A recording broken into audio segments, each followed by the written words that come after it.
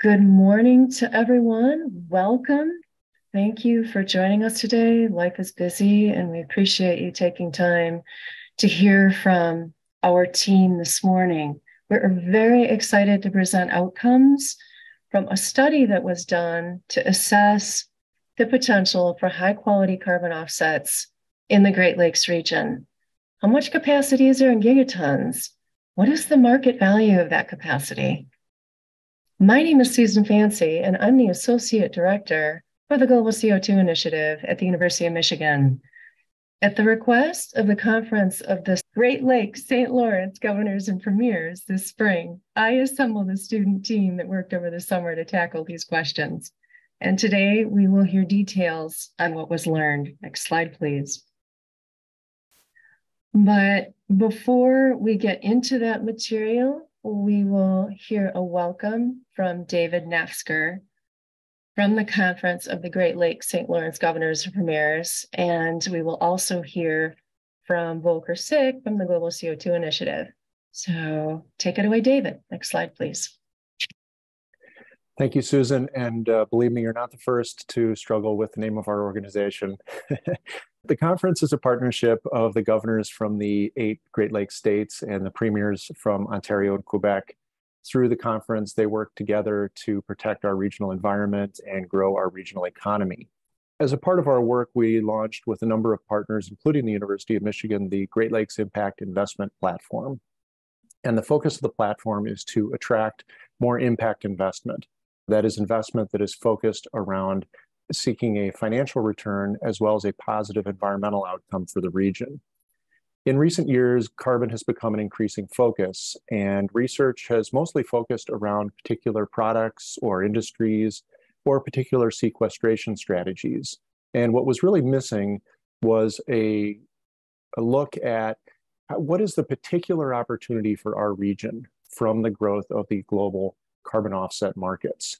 And we were really pleased to engage with the University of Michigan Global CO2 Initiative to create just that.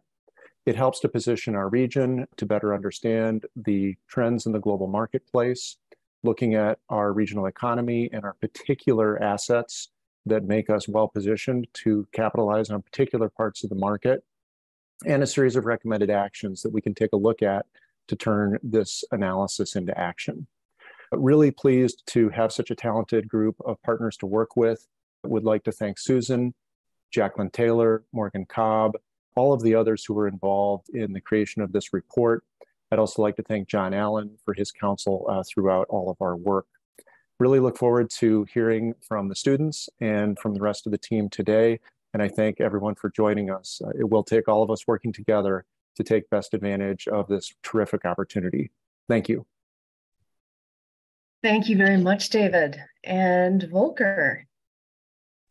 I'm between this brief uh, welcome and recognition of, uh, of this fantastic work and you actually hearing about what Susan and the student team have accomplished. At the Global CO2 Initiative, we really believe that the solution to the CO2 problem actually resides within CO2 in capturing and utilizing it so that it becomes a, a mainstream carbon management solution that provides us with multiple opportunities to take advantage of that CO2. First of all, of course, we do know we need to remove a lot of CO2 that resides in the atmosphere and in the water. And we also know that there's a continuing need for carbon based products. Life around us is carbon based, and we cannot change that but we can change the way we actually produce the products that we make and that uh, we use. And CO2 can become a carbon source. That way, we create additional value. And how we actually do this is very nicely exemplified with the work that you're going to be hearing about to provide the intellectual leadership that um, we do not only build by educating students, but as you will see and hear today, we educate our students by having them drive new insights that have immediate impact. This is an exciting way of learning. This is an exciting way of producing value to society. And this is really what we hope to do. We need to accelerate the way we think about CO2 capture and utilization. And I couldn't be happier with how the summer project went. And I'm thrilled that you're all with us today to hear about what the students have found. So back to Susan. Okay, so as David explained, our problem statement for the summer was to look at the potential in the region for carbon offsets that could be sold into the voluntary carbon markets. The first question is what's happened historically? What is the backcast of deals? What types of carbon offsets have been created? What are the price points? And what then is possible going forward? How many gigatons of CO2? What is the dollar value of that tonnage? And what are some recommendations on how to make our region a go to area for high quality carbon offsets? Next slide, please. But before I dive into the summer work, for context, I would like to provide a brief overview of global markets for carbon utilized products. We did a market study in 2016. We updated it in 2022 at the Global CO2 Initiative. And what you're looking at on this slide is a little different in the summer's work in that this includes products that are not suitable for carbon offsets, such as fuels and chemicals, but the context is helpful. As Volker said, many everyday products contain carbon, and fossil carbon is both used as an energy source to make those products, but also often used as a feedstock for these products. So think plastics, synthetic fabrics, fertilizers, chemicals, and so on in the feedstock category for what we buy today. In order to wean ourselves off of fossil carbon as a feedstock, we have three choices in the future to replace it recycled carbon from used goods, uh, the usage of plant carbon, either land based or from the sea, or captured carbon from the atmosphere and our industrial smokestack. And our global market study looked at products from this last category, the captured carbon dioxide. And what you see is that we concluded that the annual potential in 2050 is an annual utilization of 2 to 27 gigatons of CO2 with a market value of 1.1 to 4.4 trillion dollars. So this is an exciting conclusion and will help humanity go a very long way to defossilize our manufactured goods in support of a circular carbon economy, as well as using CO2 as a new ingredient as a climate mitigation tool. So, with that as an introduction, I'd like to hand it off to Jacqueline, our public policy student from the Summers team, who will get us going on the work they did on the Great Lakes markets. Yeah, thanks, Susan, and hi, everyone. This slide right here is our methodological approach. So I'll just breeze over it for everyone just so you can get a better idea of how we approached our work this summer. We thought it was really essential that we focus both on quantitative and qualitative approaches in our research as this field is growing rapidly, scientifically and socially. Um, so we needed experts from both sides of the aisle. And then we also wanted to list off our goals for you so we categorized and described demand side voluntary carbon market and market drivers. Ideally, high quality additional carbon storage options would be identified that also support the economy. Wanted to create first order estimates of supply side carbon storage potential and those associated revenues describe historical carbon offset transactions, describe criteria for those high quality carbon offsets, and then find non published pathways to connect with current activities on the supply side and demand side. And I feel good about saying that we did most of these things and we accomplished them to our full capacity and we had a lot of fun doing so this summer. Our team looked at a wide variety of nature based and engineered projects with the potential to generate new supplies of carbon offsets that can be sold. So this is just an overview of what we did this summer. Next slide, please. So this slide summarizes the sources we use to get that information. We used many of the latest reports to ground the team in recent qualitative data. This was essential in the beginning of our project to get everyone on the same page and get those general words and terms memorized so that we were able to dive into deeper research for our specific region. We then referred to GIS based maps that displayed regional potential for carbon storage in forests underground, as well as emission sources and other geographical information. And then we made our own that filled gaps of knowledge and combined all of our findings, which Morgan will share with all of you later. We also conducted interviews with stakeholders in this field. We did this under Chatham House rules, so everyone felt free to talk and be honest and have the most effective and valuable conversations possible. In these interviews, we spoke to a number of Fortune 500 companies and got information about both demand and supply side, talked to large carbon offset project developers, top managers in state forestry departments and nature focused NGOs, researchers in universities and government laboratories, to name just a few. And without the variety of expertise and opinions in our interviewing process, we would not have been able to accomplish the breadth and depth of work we did. So, to all of our interviewees who helped contribute to our, our report and are here today, thank you so much. We truly appreciate you. Next slide. We love this graphic. We think this graphic outlines our work well. It's from the Ecosystem Marketplace. They're a well established outlet that observes market conditions for carbon offset markets. They distribute annual surveys to project developers retailers, investors, and others to collect information so that pricing of carbon offsets is as transparent as possible, which we love because there's a lacking of transparency in this marketplace today. As you can see in the graphic, the ecosystem marketplace has identified 170 different types of carbon credits in several categories, to name a few renewable energy, household and community sources, energy efficiency, waste and disposal, agriculture, the list goes on and on. It's really fun if you have time to ever go on their website or just browse through. It's really interesting to see all the different types of carbon credits. But for the purpose of this report, we will focus on just a small number of these potential project types that can be sold into the carbon markets with a focus on high quality carbon removal and storage. Unfortunately, lots of carbon credits and offsets are about removing carbon that would have been removed without us creating a market. So we really wanted to focus on carbon credits and offsets that remove additional carbon from the atmosphere, which we also will touch on later. But something that would be a brief example would be like a tree. A tree will absorb carbon dioxide whether you and I created a market for it or not. But if we planted more trees, that were not already existing and then they began absorbing CO2, that would be an additional forestry credit, just for an example. Next slide, please. Another awesome graphic that we referred to a lot in our research. This graphic is an overview of strategies that an organization or corporation could employ to reach their net zero goals. We see a lot of those everywhere on labels. We're going to be net zero by 2050, but how are we going to do it? So, by definition, achieving net zero emissions requires that any emissions that are not reduced must be removed.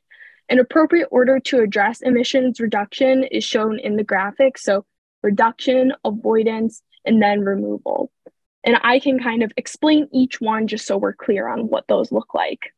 Reduced emissions are existing emissions that no longer occur. So, functionally, this task involves emitting fewer emissions in the first place energy efficiency, efficiency measures, energy conservation are all great examples of this.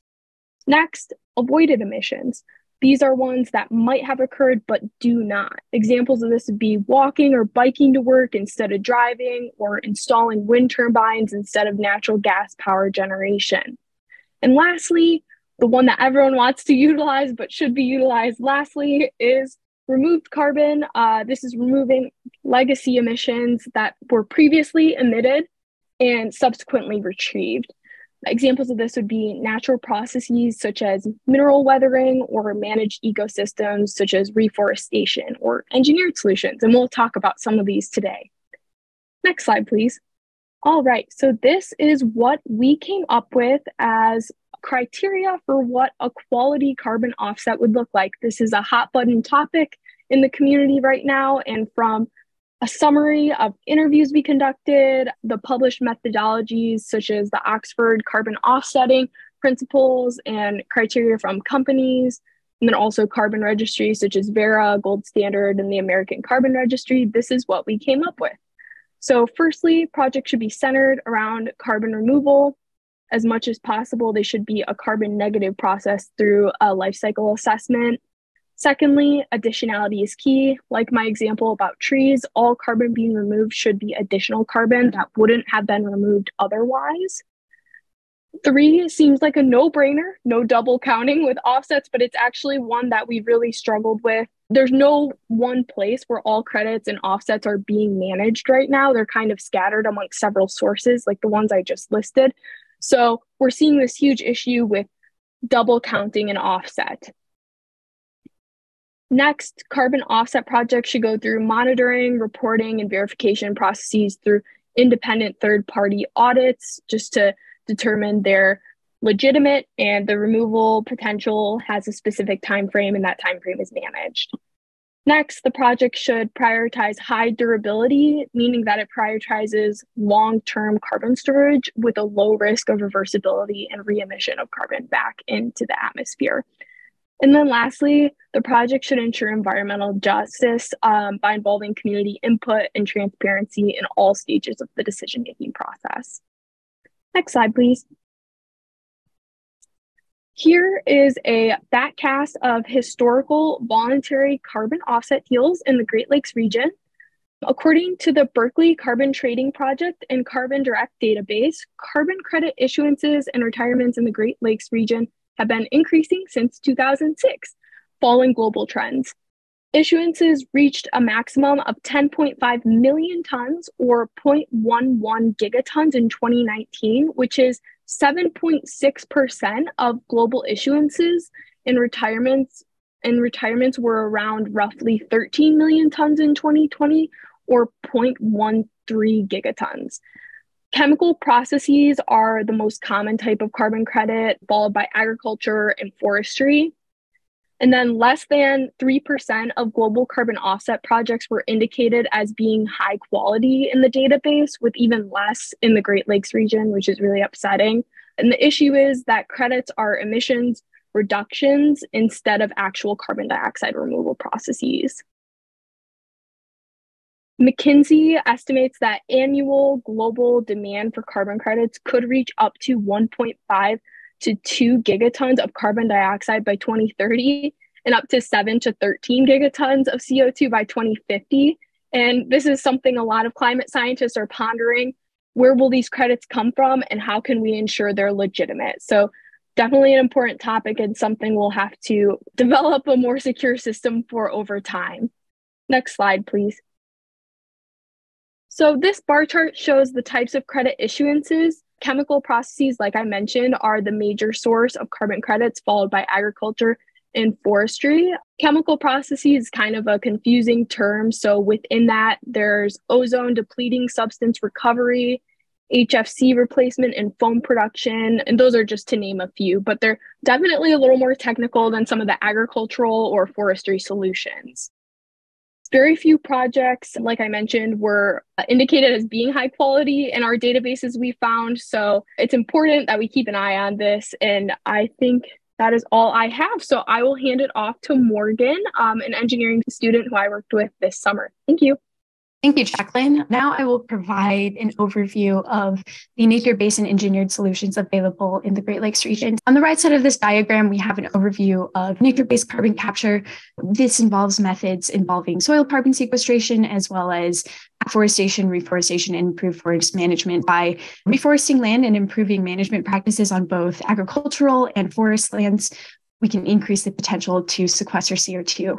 Additionally, there's opportunity for other plant based carbon capture in plant mass, not in forest or agricultural systems, including coastal ecosystems. Our region has a lot of coastlines that can be maximized for carbon sequestration potential as well as wetlands. And on the far right, we have biological ocean and freshwater sequestration in the Great Lakes region, as well as the oceans in general. This involves macroscopic aquatic organisms that can photosynthesize and sequester CO2, as well as microorganisms that sequester CO2.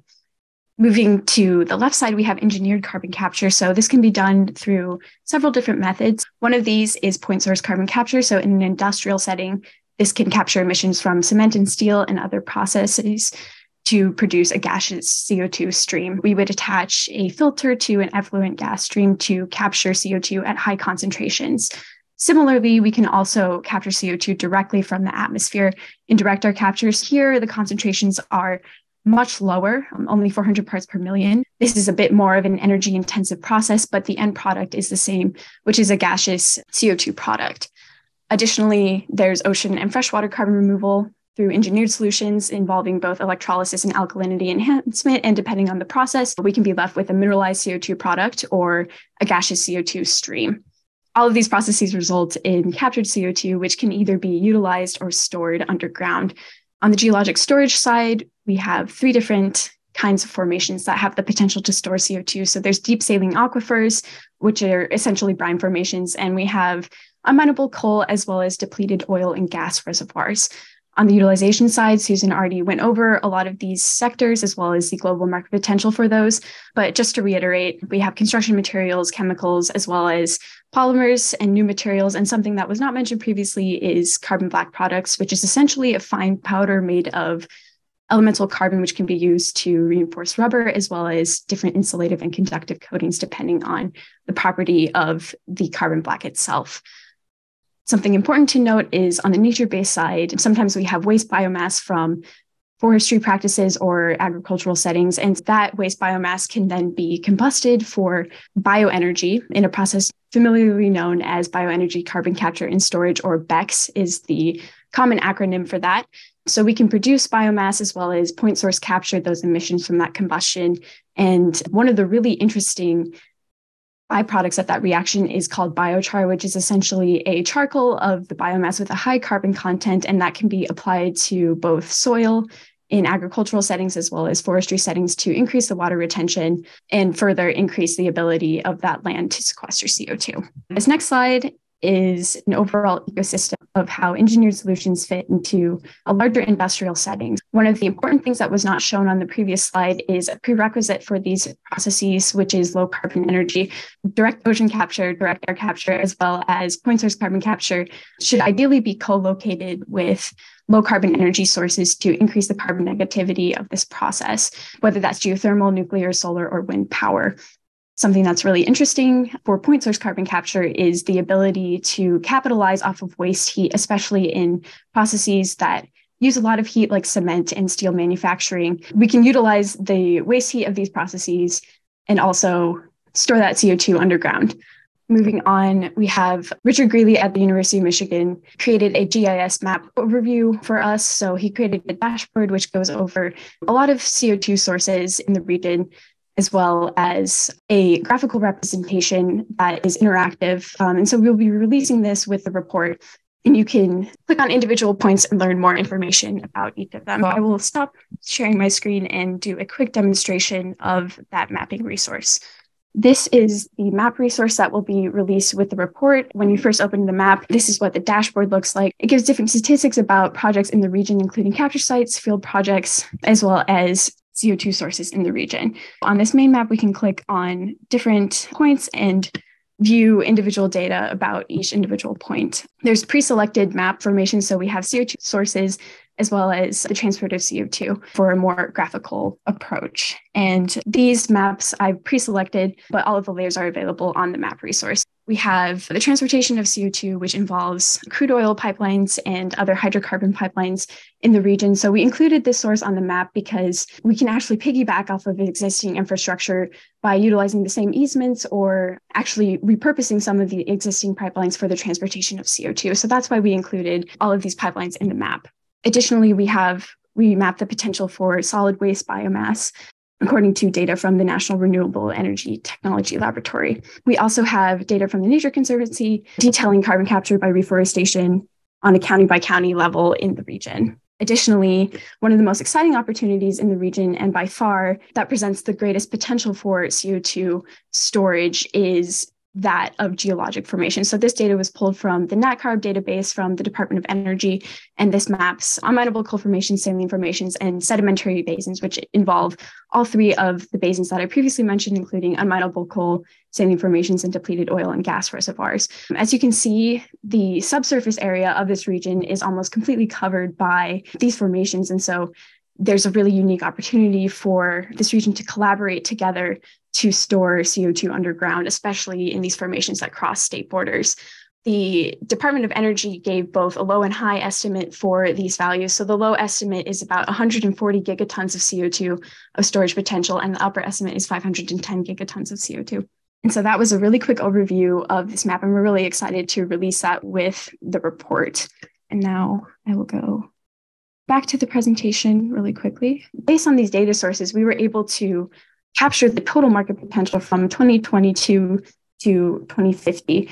The scope of this project did not allow us to assess the feasibility of these revenue projections and we didn't really assess the costs or the capital investments in this projection either. We were just mostly focused on framing the market potential. And that's kind of the only thing that the scope of this project allowed us to do. We were able to quantify this for reforestation, building materials, and geologic storage. So on the reforestation side, we quantified that for both public and private lands. So for public lands, those are owned by the state governments and they are already very well managed to capture CO2. So that's why the incremental potential for storage is not very great. The total revenue is about just under 1 billion US dollars for the total potential from 2022 to 2050. Private lands, the opportunity here is much greater. So we gave both a lower and an upper range. And because of one of the challenges on private lands is aggregating uh, smaller landowners and convincing them to reforest their land and improve forest management. And so we assumed um, a lower bound of 10% of the total storage potential detailed by the Nature Conservancy. And the public land figure assumes that the full potential is realized as given by the Nature Conservancy projected from 2022 to 2050. And that's due to the good management of the lands by public utilities. We were also able to quantify aggregates for construction and concrete. The lower and upper bounds of this are dependent on the individual error in capturing CO2. We have different estimates for the total amount of CO2 that can be sequestered per ton of building material that dictates the lower and upper bounds.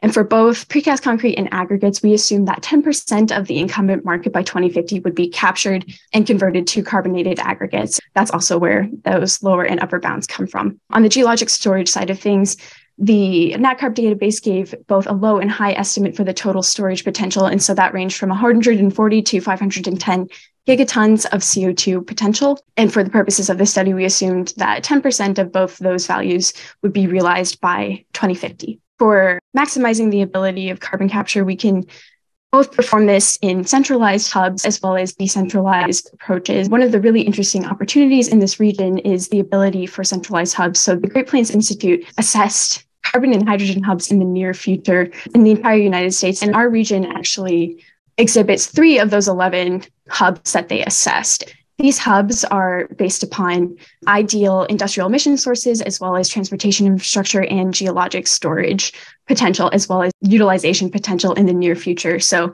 the Marquis complex is something that is currently being constructed by the Marquis companies. They already have permits for geologic storage, but essentially, they have the ideal qualifications for both capturing CO2 and storing it underground. So they are close to a lot of transportation infrastructure for geologic storage as well as transporting those products on highways. And they are co located with a lot of industrial processes that allow for point source carbon capture of CO2. So that is something in the region that is being pushed forward right now and very exciting potential. We also have decentralized examples in both building materials as well as biochar. On the building materials side of things, we have decentralized carbon capture units. So, a Japanese company called Mitsubishi is developing point source carbon capture systems for both capturing CO2 on site and creating carbonated building materials on site as well. And this is a approach that favors a more decentralized approach due to the bulkiness of the curated materials. And so it makes more sense to capture that CO2 more locally as well as distribute it locally. Something else that favors a more decentralized approach is biomass and bioenergy. So it makes sense to locally process that waste biomass as well as distribute the resulting biochar and bioenergy to increase, to actually make that process carbon negative. And that is something that can be done more locally, co located with those sources of waste biomass. Next, we'll provide some strengths and weaknesses of both nature based carbon offsets. It's important to note that we definitely need each of these solutions to work together in tandem to meet our carbon reduction goals. Each of them have their own individual strengths. Something that's really great about nature based solutions is that they are plentiful and they are already currently being implemented in a lot of cases. So these can be implemented in the near future while engineered solutions are being scaled up. There are a lot of co benefits associated with nature based solutions, such as biodiversity, recreation spaces, cleaner water and atmosphere, improved air quality. There are options available in every region, and something really great about our region is that we are well insulated against the effects of climate change due to the Great Lakes. And according to EPA data sources that project the impacts on ecosystems from increased temperatures, the Great Lakes is relatively insulated. So a lot of these nature based solutions will be resilient over time, especially to wildfires and invasive species. Additionally, these solutions are inexpensive and easy to market and sell. A lot of them are currently being traded on the markets. Some weaknesses of these approaches, however, um, it's very difficult to measure the actual carbon stored. So a lot of these are more estimates. It's hard to verify the actual carbon storage over the project lifetime. They are susceptible to invasive species and wildfires. Um, however, like I mentioned, the Great Lakes region is a bit more resilient as compared to other regions in the United States. A lot of these sources sequester carbon on more of a short term. The turnaround time is a lot less, especially for something like a tree that could be used in different products or sometimes logged or combusted, as opposed to something like geologic storage, which sequesters things on effectively geologic timescales. Additionally, a huge concern is land use for a lot of the nature based solutions, especially given that a lot of these private lands are owned by an older population, convincing them to sign up their land for 100 year contracts for a lot of these forestry timelines is something that's very difficult, especially considering competing land uses such as increased housing for um, increased population as well as food production. These are important considerations that should be taken when making nature based projects. On the engineered carbon side, there are many strengths, which include the ability to accurately verify how much carbon was actually sequestered. So that's one of the huge strengths of engineered carbon capture. It's very easy to model and verify how much carbon is actually being removed. Additionally, there are many gigatons of potential of storage in the region. Something that's also very exciting is, and that Jacqueline will get into later is tax credits for sequestering CO2. Additionally, with the creation of carbon storage pathways, we can also utilize that carbon and create new jobs along with the creation of new products. And additionally, with pivoting carbon storage, we can translate a lot of existing oil and gas jobs to geologic storage jobs. Um, some of the weaknesses of this approach are that a lot of the technology is not yet developed and it's expensive to run some of these processes, especially direct air capture, since the concentrations are so low compared to point source capture. So, capitalizing off of low carbon energy in areas that exhibit a lot of potential for that will be crucial in driving down cost, um, as well as capitalizing off of waste heat processes in an industrial setting for point source carbon capture. One of the weaknesses of that is that it creates an additional demand for low carbon energy. And some of these sources as well can be seen as extending the lifetime of fossil fuels for point source carbon capture projects. That's why we definitely recommend first avoiding and reducing emissions before using removal as a last step. But it's important to do everything possible to avoid global warming. And these solutions need to be put together in tandem to maximize that environmental benefit. And I'll hand it off to Jacqueline. Yeah, so just like Morgan mentioned, this is one of the tax credits, the 45Q tax credit that has been updated as the Inflation Reduction Act this past summer in August, which I'm sure many of you are just as excited as I am. um, the bill offers 369 billion USD for climate action through tax credits and other initiatives, which is the largest and most historic piece of energy legislation in US history. And then I'll just run you through quickly what this looks like and what this update looks like. So 45Q offers a baseline of pricing for $12 per ton of carbon utilization and $17 per ton for carbon sequestration. But if the 45Q f- qualified facility meets specific wage, hour, and apprenticeship requirements, the credit can be multiplied by five. Once multiplied by five, the carbon utilization tax credit is $60 per ton and the carbon sequestration tax credit is $85 per ton. Similar regulations apply to direct air capture facilities. The carbon utilization tax credit is $26 per ton, and the carbon sequestration tax credit is $130 per ton. if the 45Q qualified facility meets specific wage, hour, and apprenticeship requirements, then the DAC utilization tax credit increases to 130 and 180 dollars per ton. So pretty significant tax credit jumps from what they were previously and also very incentivizing, but we need to educate the public on how they're able to access those. Next slide, please. These are some regional barriers to voluntary carbon markets. As I just mentioned, general awareness of stakeholders and just um, the US population and global population on rhetoric surrounding climate change, carbon capture, all these technologies is really minimal and very confusing. Everyone defines these things differently. Um, and I have a feeling it all stems from the fact that our marketplace does not have distinct pricing and lines in which carbon offsets should function. It makes it a little more complicated, certainly. Next, lack of planning and coordination amongst emission sources and sinks the lack of profitability for a new supply side carbon solutions, and then the lack of supporting infrastructure there's definitely a brief window of time where technology and storage storage solutions would need to invest into generating sizable profits. So that would look like new pipelines or infrastructure, but we are able to use a lot of infrastructure we already have for higher emitting technologies such as class six wells. Next slide, please. These are some policy recommendations and just general recommendations that my team and I came up with Firstly, US states with significant geologic potential to store CO2 in Class 6 wells should submit a primacy application to the US EPA. There are only a couple states that have it right now, such as North Dakota and Wyoming, and there are a lot of states waiting. But because the EPA doesn't have a ton of bandwidth to get these primacy applications approved, it's essential that all states that have geologic potential submit this application as soon as possible.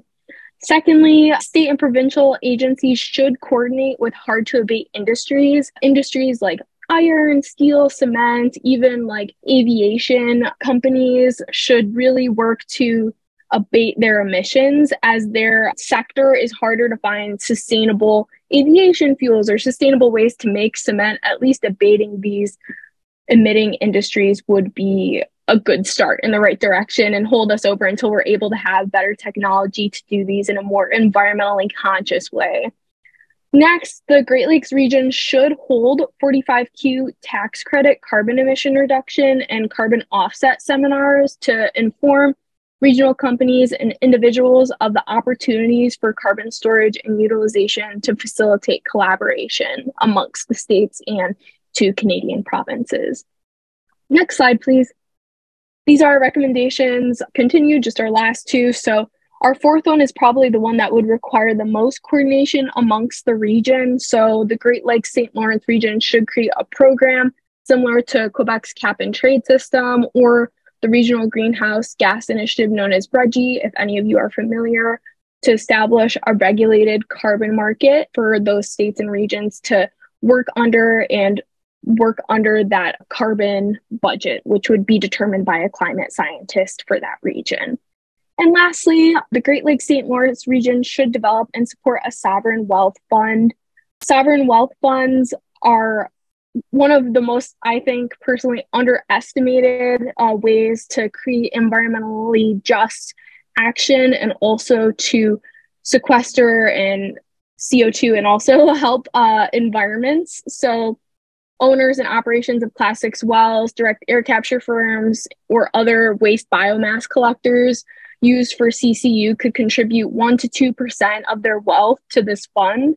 An example of this is Norway's Sovereign Wealth Fund, which was started in 1990 and has held assets of $1.4 trillion or approximately $250,000 per resident as of December of 2021 this is kind of our inspiration for this suggestion. And in the Great Lakes region, a sovereign wealth fund could also be used in part to backstop future liabilities arising from CCU activities to encourage companies to invest in building out carbon storage and carbon utilization activities. And these sovereign wealth funds can be used for a wide array of tasks and benefits for the region and its residents. Thanks. Thank you very much, Jacqueline. So, along the way this summer, we noted as we went that there are a number of areas that would be worthy of follow up study. Those include what it would take to deploy the carbonated aggregates and precast concrete production as new commercial industries in each state and province. As we saw, there's tremendous potential for durable carbon storage, which would make very valuable uh, sales into the voluntary carbon markets and also generate local jobs and revenue. Another item identified was launching a study to decarbonize, really reduce the CO2 levels of the Great Lakes water bodies. Is there a way to safely and sustainably remove CO2 from the Great Lakes over the long term, again, with then offsets that could be sold into the markets? Another item was to look at a study on where future direct air capture plants should be located. Hopefully by 2050, we are only collecting emissions from those hard to abate sectors, such as concrete. And what we would be needing then at that point in time are direct air capture plants to reduce legacy emissions and to help balance out the emitters that are still needed. Where should those be located? Near CCS sites where there's renewables and also carbon utilization producers. What is the best usage for waste biomass in the region? We identified that there'd be 2.4 gigatons of biomass available between now and 2050. We weren't able to figure out what the best usage for that is. Should be used to make fuels? Should be used to make biochar, energy? What are the options for that? A regional forest carbon strategy would be helpful to identify what is the best way on both private and public lands for those to de- deliver both ecosystem services and support economic goals, including additional revenue into the region from the sales of voluntary carbon offsets into the markets. There is potential for additional geologic storage in the region that we weren't able to get to in basaltic, um, peridotite, or other formations. We also didn't get to look at detail for the depleted oil and gas wells. So, what, what would that look like as incremental storage? And this next one's a little bit more complicated, but it's really not clear. One of the people we interviewed said that, you know, carbon capture systems on utilities, they are needed as a bridging strategy, of course. I mean, we're at what, 6% global renewables right now. We need our fossil plants as we uh, build out clean generation over time. What is the feasibility of operator cost recovery for carbon capture systems, both in the rate base and also with the regional grid operators, like MISO, for example, which dispatch power on the least expensive cost. So that could disadvantage a plant that has carbon capture installed. Are there mechanisms beyond grants to get that done? And then, of course, last but not least, as Morgan mentioned, our study today looked at what are the potential markets? We did not look at the capital that would be required or the human infrastructure and other infrastructure that would be needed to deliver those markets? That's a separate question and a very important one. Next slide, please. So we were very excited that um, of what we found. We identified from 2022 to 2050 a total of 14 and a half to 52 gigatons of high quality carbon storage available in the Great Lakes region that can be sold into the carbon markets. What we're especially excited about is that that carbon storage can balance annual regional emissions, which today are one and a half gigatons with extra to sell. And of course, we anticipate year over year going forward that those emissions will come down. And we felt that our estimates were conservative. We, we thought they were balanced. So we were excited about this. And we loved what one of the people we interviewed said about the Great Lakes region. Uh, we had the quote on a couple of slides previous, but the Great Lakes has a lot of diversity, a lot of shipping, a lot of industry, universities, lumber, cars, and a high population density that will grow over time.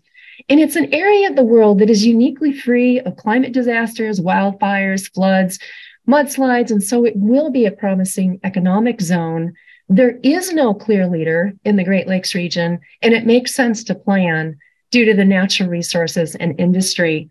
So we concluded that our region has an opportunity to lead the world in carbon capture and storage and carbon capture and utilization in products, revenue, and employment, and, and be a prototype for the rest of the world. And so we were really excited that the Conference of Great Lakes St. Lawrence Governors Premiers asked us to do this study, and we were happy with what came out of it.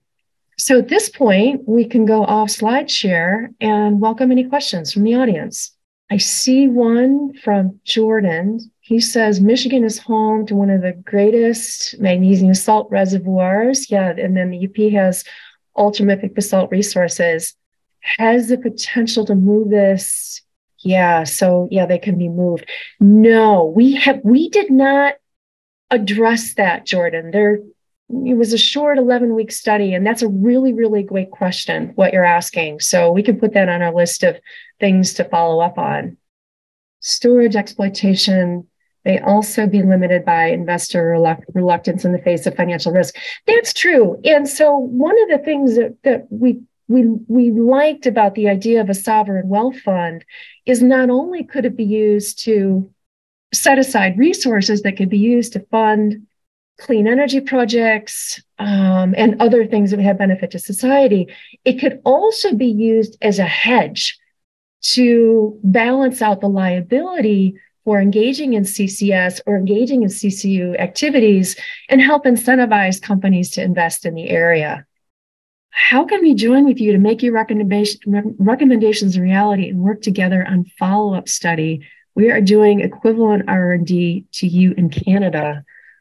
We will put our my contact information in the chat. Reach out to us and we can have a conversation with you and Great Lakes St. Lawrence governors and premiers to work further on these questions. Bob Mannes commented from Core Energy has commented do not un- underestimate the role of project profitability for new supply of carbon solutions. Yeah, 45Q is not adequate to make a project economically viable. Yes, he's absolutely right about that. We are at the very beginning of this industry, and right now, most of those engineered solutions that we talked about are it's just the first projects coming online. They are not economically viable. So we need support, we need investment for those to scale. What we'd like to see happen is that this field follow the path of solar. Today, solar energy is 99% cheaper than it was 30 years ago, and that's without even taking into account inflation. That's what we need to have happen in order to deliver the benefits that we're talking about today. And we think it can happen. How big are you envisioning the sovereign wealth fund needing to be? And what sector would you tax to generate the revenue? Because that's a great question, Bob. Again, I think this needs more study. But what we noticed in Norway is they, in 1990, they started setting aside, I don't know, one or 2% of revenues from oil and gas. And at this point, so that was 1990. At this point, that well fund in 2022 is worth $240,000 per resident. It's a huge number. So our thinking was set aside money from anyone doing C, you know, carbon the geologic storage, CCS into class six wells, probably direct air capture. There's some sense of public ownership of that of, of those spaces somehow. And go from there. You know, definitely a good a good conversation starter for sure. So I also just want to take a quick moment. Uh, we'll see if any more questions come in to uh, put a plug in for our fantastic students. Um, both Jacqueline and Morgan will be graduating in the spring. So um, they'll be looking for a job and they're trained in this field. Reach out if you think you would like to hire them. What else do we have here? Yeah. So again, we've got a comment here. We do need a robust carbon offset market to bridge economic gap to enable projects to be developed. In addition to helping coordinate, you know, the role that the Great Lakes St. Lawrence governors premiers hopefully will undertake, you know, to try and drive more coordination regionally with the nature-based solutions and the engineered solutions. Another thing that these governments can do is create a demand signal for CCU products by buying them prioritizing them. So, uh, carbon capture and utilized fuels and carbon capture and utilized aggregates and concretes would be probably on the top of our list. Fuels, of course, are not suitable for the offset market, the concretes and aggregates are, but either way, to help stimulate the circular carbon economy and start to create long term carbon storage that we're going to need. So, as we close, we will be producing the final report soon. We will be releasing that on December 2nd, along with the webinar recording from today, the slides, and then also the maps, which will be hosted on our website for the global at the Global CO2 Initiative and also at the Conference of Great Lakes St. Lawrence Governors and Premiers. So you can play with those and turn on your own layers for where are the emissions, you know, wh- what's the geologic storage, where are the pipelines? We can move this stuff around. And I do apologize in advance for the length of the report. It's 80 plus pages, but there is an executive summary that's about 12 with lots of graphics that summarizes the uh, the material that you saw today from from our team. I want to thank you for your time this morning and joining us.